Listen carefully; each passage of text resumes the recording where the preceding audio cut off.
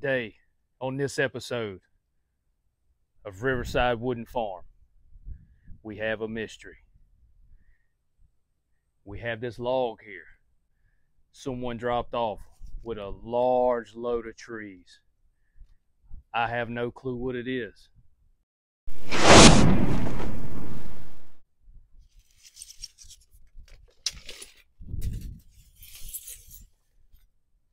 It's 10 feet long, gray in color, has a little bit of dirt on it, no bark. Species unidentified. Not a very big specimen. All I can tell you, it's a tree.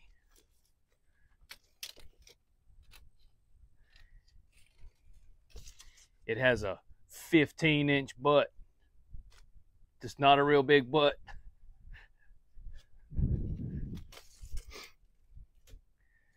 And a 12 inch top. We're gathering clues. And together, we're going to crack this case.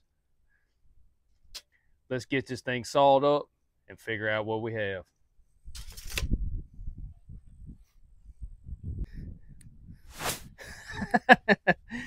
uh, I couldn't resist myself. Anyway, thanks y'all for stopping by and checking us out here. We hadn't done a mystery log video in a long time.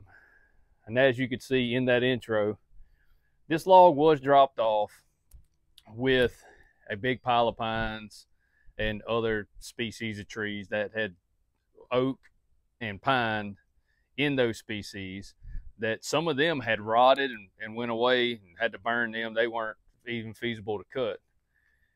But this one right here seemed pretty resilient. Um, besides a little cracking on the outside of the of the tree, there's really no sign of rot anywhere.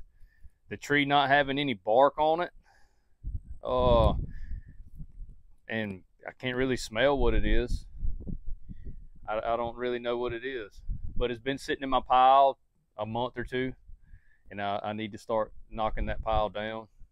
So before this monsoon storm comes down here in Mississippi, it's been pretty rough. It's 72 degrees in the middle of January.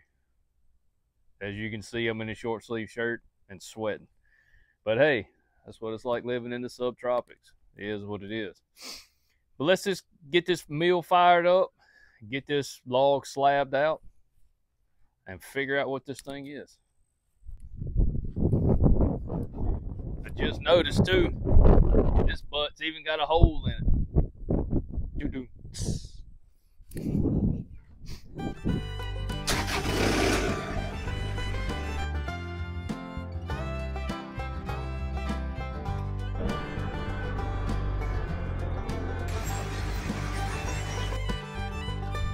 Okay, from the from the first pass, and I got a whiff of this tree. I know exactly what it is. I'm not going to reveal it until the end of the video. But a clue. It is used in medicines uh, to treat muscle pain, congestion, infection, and things like that. That's one tip to solve the mystery.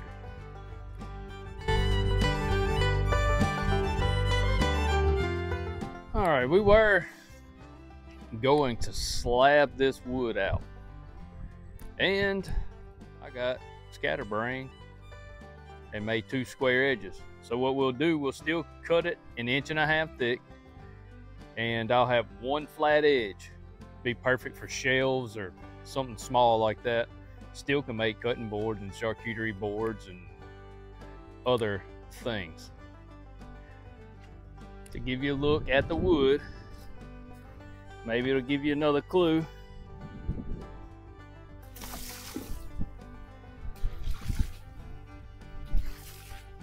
It is a hardwood.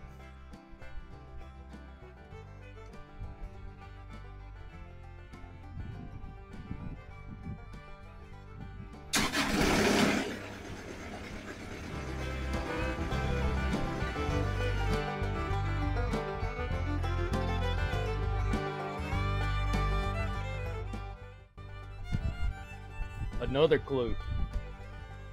It's native to Eastern Asia. It was brought over in, to Florida in 1875.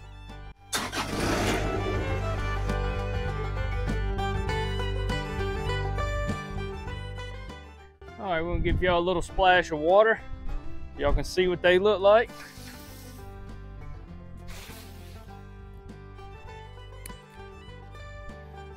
Little heart rot, not too bad though, a couple spots. Last and final clue.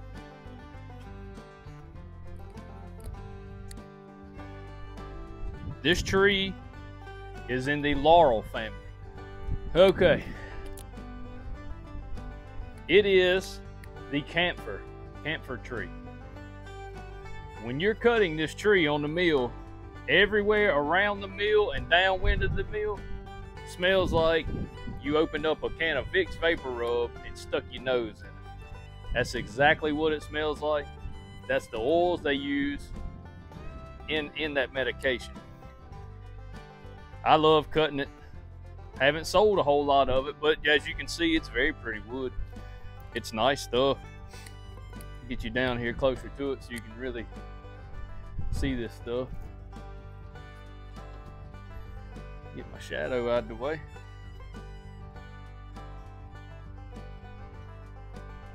Very nice stuff. I, I, I like it.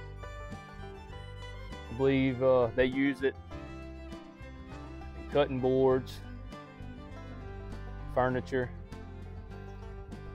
things like that. Very stable from what I've read. I've never never used it on anything. Very stable wood, so they say. Well, shoot, that was fun. We got that mystery figured out. Little clues here and there. Got it slabbed up, taken care of, out the wood pile. The log might have been a mystery, but one thing that ain't, and it's a serious note, is Jesus Christ died for you. Died for us all. And the only way to get to heaven's through him. Just like it mentions the book of John, chapter 14, verse 6.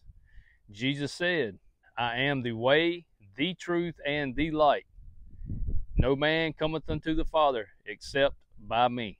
And making that decision is way more urgent than you may think. You never promised tomorrow. You never promised five minutes from now. You never know. And once it's done, it's too late. Don't hesitate. With that being said, hope y'all had fun. And remember, y'all come back here.